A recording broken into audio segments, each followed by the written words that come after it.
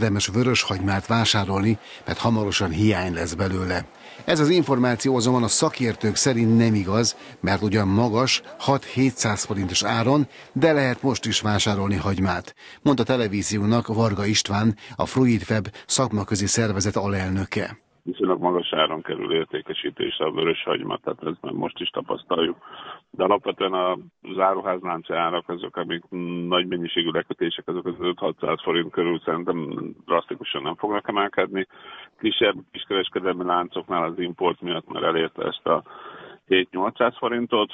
Én azt gondolom, hogy ez, ez felé nem nagyon fog emelkedni, tehát elképzelhető, de nagyon, tehát minimális esélyt látok rá. Igazán én azt gondolom, hogy június el, el, első hetétől kezdve már elérhető a magyar hagyma. Én azt gondolom, hogy az áttelő hagymák szerintem elég szép képet mutatnak, illetve azért jelenleg per pillanat azért egy előreláthatólag egy olyan 200 hektáros növekedés várható a magyar termesztési felületben. Én nem gondolom, hogy júniustól probléma lenne a vörös hagymával.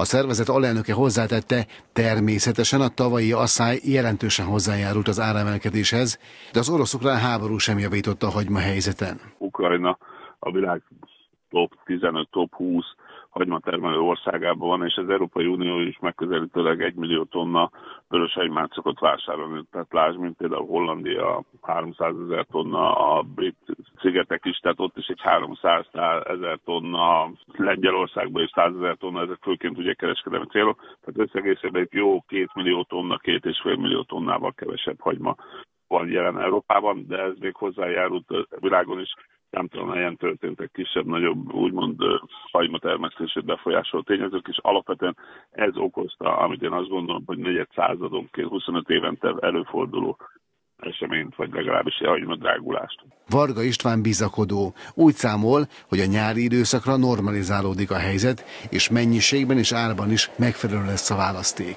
Valószínűleg az idei évben szerintem normalizálódni fognak az árak, drasztikus visszaesés nem lesz, de én azt gondolom, hogy egy termelői árszint az egy ilyen 150 forint körüli árszint lesz, tehát a fogyasztói árak én azt gondolom, hogy utána az ár kiskereskedelmi láncok költségei is azért rendesen emelkedtek, és ezek sok esetben elérhetik a beszállítói ára még a 40-80 százalékos többlet plusz költséget. Én azt gondolom, hogy ilyen 3-400 forint körüli fogyasztói árakat fognak majd tapasztalni a fogyasztók. Az alelnök azt mondta, a tavalyi nehéz év után idén még nőhet is a termőterület mérete Magyarországon. Számításai szerint mintegy 200 hektárral nagyobb területen takaríthatnak be vörös hagymát.